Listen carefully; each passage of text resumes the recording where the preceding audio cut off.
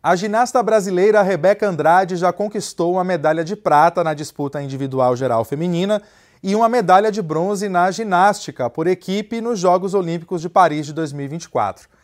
Além das medalhas, ela também recebe uma premiação em dinheiro do COB, o Comitê Olímpico Brasileiro, no valor de 210 mil reais. Mas as conquistas e os ganhos não param por aí. Rebeca ainda tem três finais pela frente aumentando suas chances de se tornar a maior medalhista olímpica brasileira e de aumentar sua conta bancária também. Se ela quebrar o recorde de medalhas, pode embolsar até 1 milhão e 300 mil reais ao fim dos Jogos. Além disso, se ela decidir investir todo o dinheiro ganho, pode multiplicar ainda mais suas recompensas ao longo do tempo.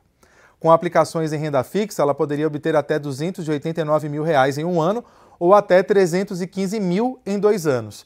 Esses valores podem aumentar ainda mais se ela investir o valor máximo que pode conseguir, chegando até 1 milhão 430 mil em um ano ou 1 milhão 560 mil em dois anos.